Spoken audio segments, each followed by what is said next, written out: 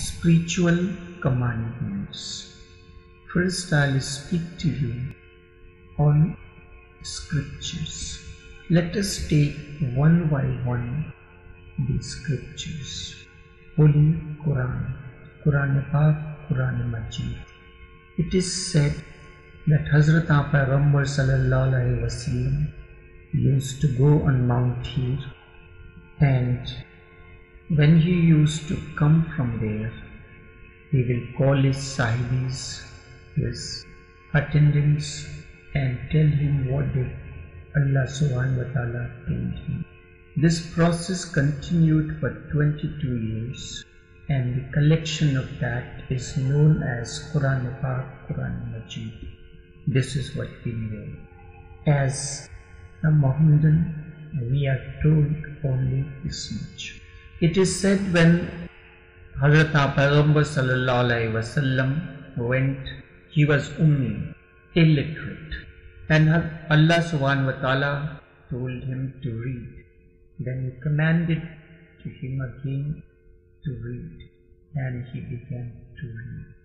Did this happen that way? When an individual is freed from all his inertia, ego sense, nafs, and all kind of other bondages, is flying wingless in the vastness of the sky. The intellect is purest, many things happen. And when these are narrated for the sake of the transformation of human consciousness, it becomes scriptures. One of the most important scripture of Hindus is Bhagavad Gita. It is said the battle between Pandavas and Kauravas was looming on the horizon. The two armies have gathered in the battlefield of Kurukshetra, desirous to fight with one another. Arjun, the mighty warrior of the Pandavas side, has asked his charioteer, the absolute consciousness as Hindus call Krishna, to carry the chariot in the midst of the two armies so that he can get a clear perspective of who he has to fight with. There he is filled with attachment, ignorance, lack of the duty sense, and many things like that. This is known as Arjun disease. This is a way of saying almost every individual finds himself in that situation, sometimes or the other. Then it is the absolute consciousness that reveals the message of for the transformation of his consciousness. It is said that the, the battle announcement has begun. The conchs were blown.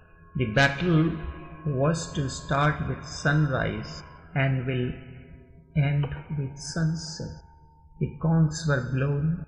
There is no running away from the war. Now Arjun asks. Krishna tells him, now that when the war sirens have been blown, you are asking me to carry the chariot between the two armies. Do you have doubts about the war? Categorically he denies saying that no, there is no such question in my mind. Bhagavad Gita contains 703 sutras of two lines each. Each sutra is divided into four quadrants with a particular meter which is known as Anustup meter. This is important meter. I had asked one of the leading exponents of Bhagavad Gita that two questions. How much time did Krishna take to chant 703 verses? Don't tell me those stories that Krishna is ultimate God he could do miracles, he could sing those verses in a flash of a second, all these are childlike talks. When the absolute consciousness manifests in human form, it is bound by the human limitations of body, mind, and intellect. Did it happen that Holy Prophet was the Payghambar or the messenger of God? Jesus was the only begotten Son of God, the Messiah. Did they not die? Because they were in human form. As long as absolute consciousness manifests in human form, it is bound by the limitations of the realm which is known as body, mind, and intellect. It is said that Naqshbandi Sheikhs, Hazrat Nazima Razi Allah Hazrat Shah Bahauddin Naqshband Razi Allah Hazrat Lalaji Razi Taalawno—all these were masters of impeccable intellect, awareness, understanding, and in fact, if we use the Hindu terminology, they are the incarnations of God. Yet still they went through the ailments, various stages of life from birth to childhood, but during all these stages they were aware. So, firstly, how much time did Krishna speak the way I am speaking to you about Bhagavad Gita? Number one. Number two, if he did, then how much time did he take? These are the deeper mystical insights. And it is said that Krishna spoke.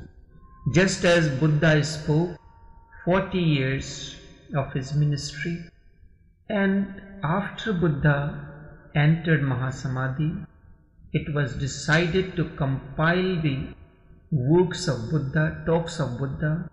There was no audio system, Nothing of the sort. As we have now, I am speaking to you live in this meditation session. Simultaneously, the audio is being recorded. So it is the authenticated recording of whatever I speak to you this morning during this session. Such was not the case during the times when the scriptures manifested be it Bhagavad Gita, be it Holy Quran or Buddhist scriptures. After Buddha entered Mahaparinirvana, a congregation, a conference of the enlightened ones was convened and it was decided that how to compile the Buddhist scriptures. Many of the monks, Sariputra, Mudgalayam, Mahakashyap, all these at times were sent by Buddha to go to this direction or the other. The only person who had remained with Buddha during his ministry was Anand. And Anand was not enlightened. Because he was not enlightened, he may narrate what Buddha said, he may give his own meaning to it, the authenticity of that will not be maintained. The conference was going on. Anand was not allowed in because he was not enlightened. And before he entered into the commune of Buddha, he asked three things. He said, Before I take initiation from you, I am your elder brother. I seek three things. Number one, you will never ask me to go anywhere in any other direction like any other monk do. Secondly, I will sleep in the same room where you sleep. Buddha granted him these boons. And these became an obstruction in the process of his enlightenment. Wives take their husbands for granted, and this becomes an obstruction in the process of their enlightenment in most of the cases. Anand wept. He abandoned food and everything. And then, just before the conference was to decide, Anand became enlightened. And he says, All the Buddhist scriptures begin, Thus I have heard. This is very important. Thus I have heard. It is not that he is putting anything of his own, he is narrating what he has heard. And that makes the authenticity of the Buddhist scriptures.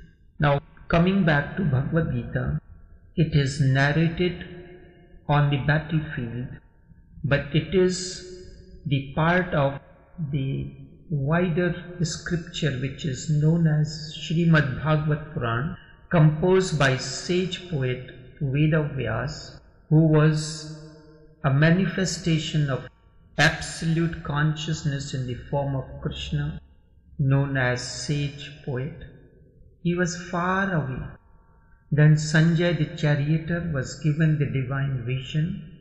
He narrates it to the blind king every single detail of this fratricidal war. So, was it written the same time as it was being narrated? Nobody asked such questions. No, it was not written simultaneously. Entire Bhagavad Gita happened, and then while battle was taking place, Sanjay continues to narrate for the blind king and sage poet Vedavyas compiled and composed it as his commentary. Thus I have heard, thus I have seen, because he was seeing and hearing because of his divine vision.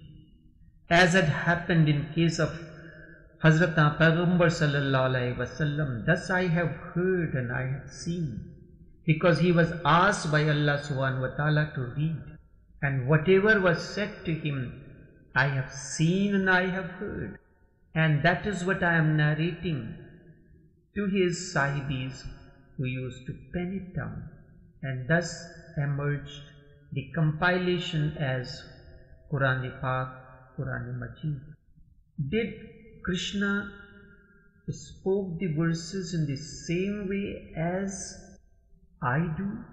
No, I speak to you on my own authority and experience, it did not happen that way.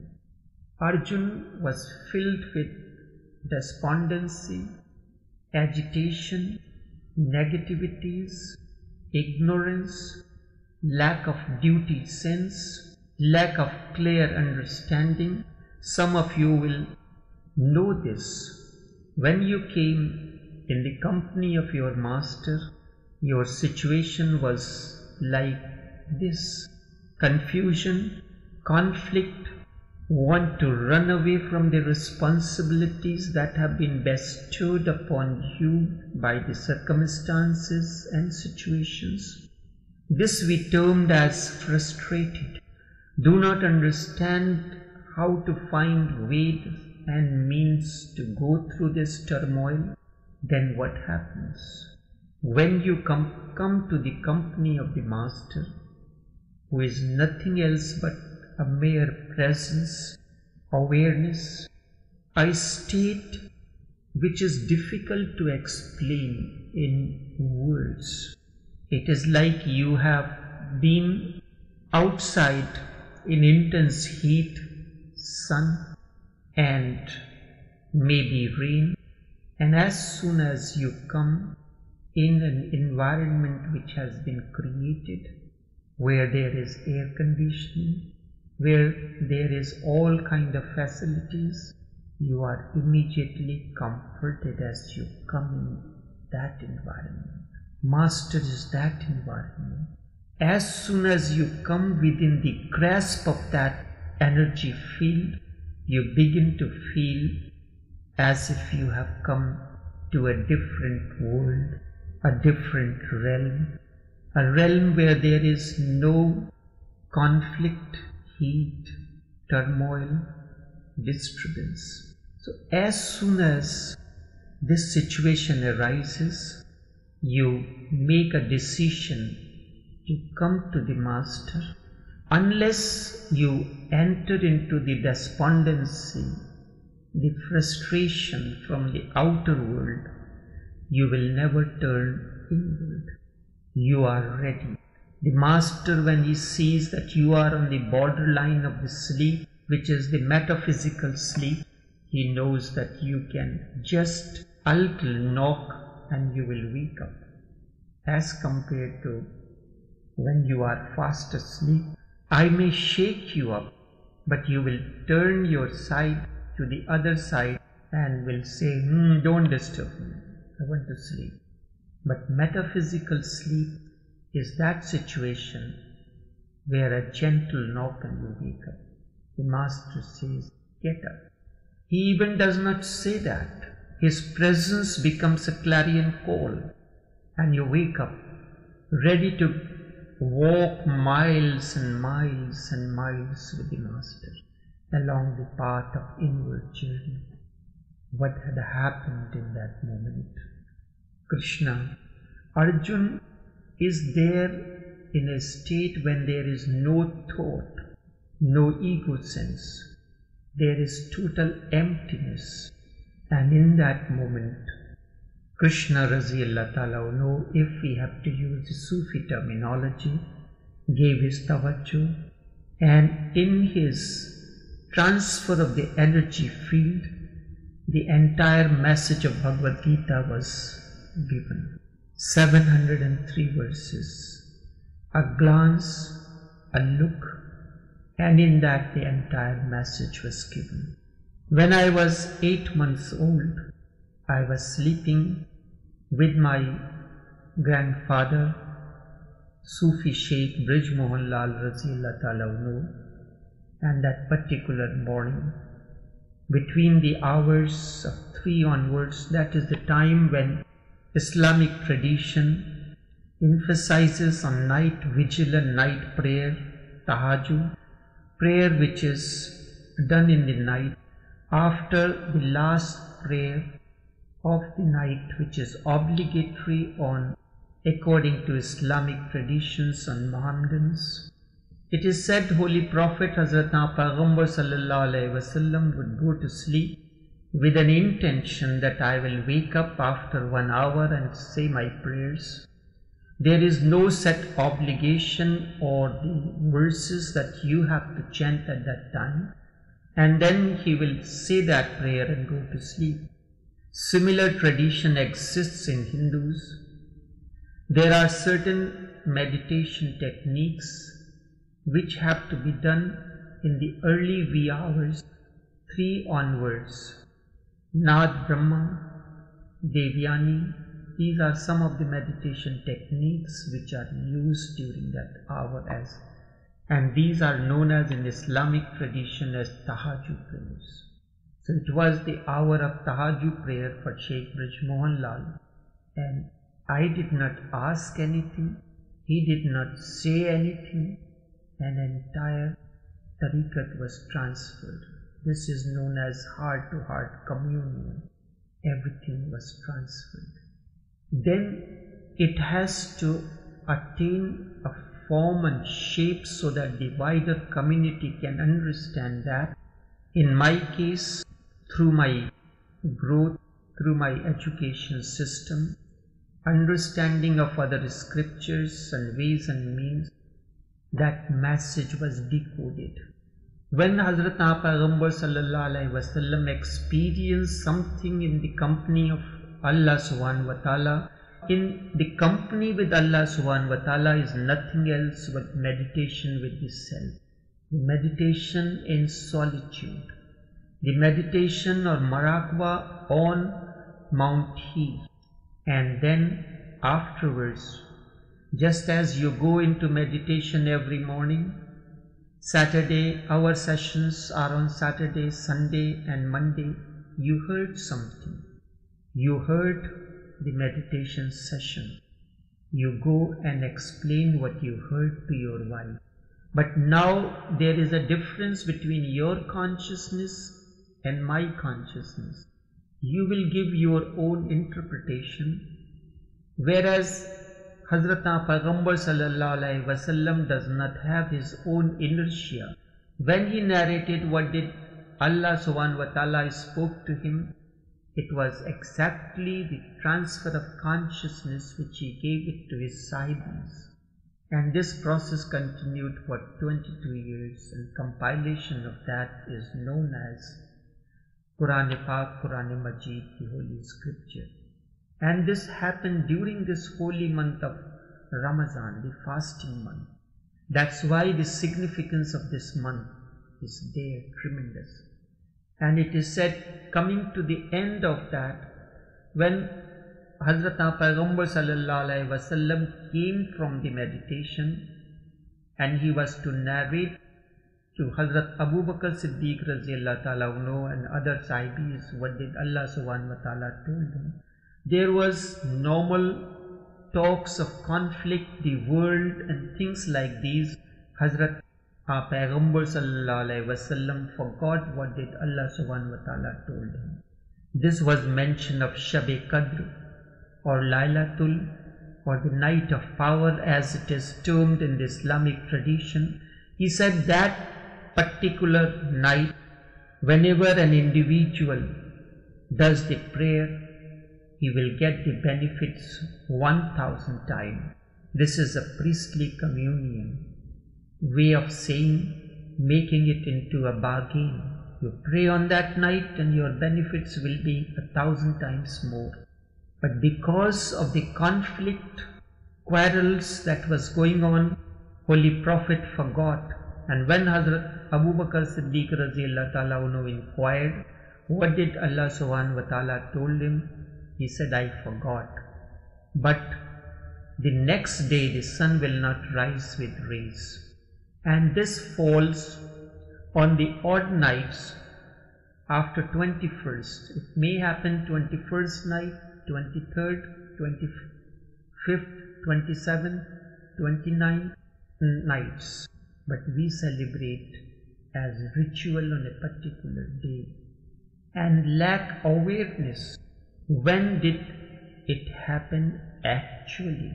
unless your consciousness has reached to the level of Hazrat Payghambar sallallahu wasallam, you will not be able to understand the message. Hazrat Payghambar sallallahu wasallam was ummi, illiterate, and all these scholars with their PhDs and degrees have not been able to understand the message of an illiterate. So can this message be understood through intellect? It is to be understood through nisbat, through awareness, which is far deeper than understanding. When there is nisbat, there is awareness, the understanding assumes a new dimension. When Krishna looked at Arjuna, entire message of Bhagavad Gita was communed to him, and sage Veda Vyas because his consciousness was at the same level as that of Krishna, he was able to narrate this, narrate the entire message of Bhagavad Gita in the form of verses, give it a, a physical form. When the silent commune was communicated by Holy Prophet Hazrat alaihi wasallam to his sahibis. It was given a form and shape for the humanity to come. It became Quran Pak, Quran Majid. When sage Vedavyas interpreted the silence, the silent gestures of Krishna in the form of verses with a particular intonation, a rhythm, a way of chanting, it became the holy scripture of Bhagavad Gita. When Anand narrated, saying that thus I have heard Tathagat came and the sermon began. Thus I have heard. This is how the Buddhist scriptures begin. When we look at the Ramayana, another scripture of Hindus, Sage poet Valmiki was far away from the battlefield and he is narrating what it is happening. He is seeing and visioning through his divine vision. And this is for the transformation of human consciousness. Many centuries after, in the year 1500 something of this Christian era, when sage poet Tulsidas represented the matter for the sake of the transformation of human consciousness. He was illiterate. He did not research into libraries or anything. The only place he searched within his inner sanctum, and when he dived deep into inner sanctum, which is the greatest library, he entered into his heart space and represented the entire story of Ram in the form of Ramcharitmanas. The portrayal of Sri Ram as it is ingrained on Manas means the mind, on the leaves, on the mirror of the mind, because it is through the vocal cord I am speaking to you that is hidden in my bosom or heart it is not written anywhere, just you and I and this recording device, and the words are forming, sentences are emerging, the silence is assuming the form of words.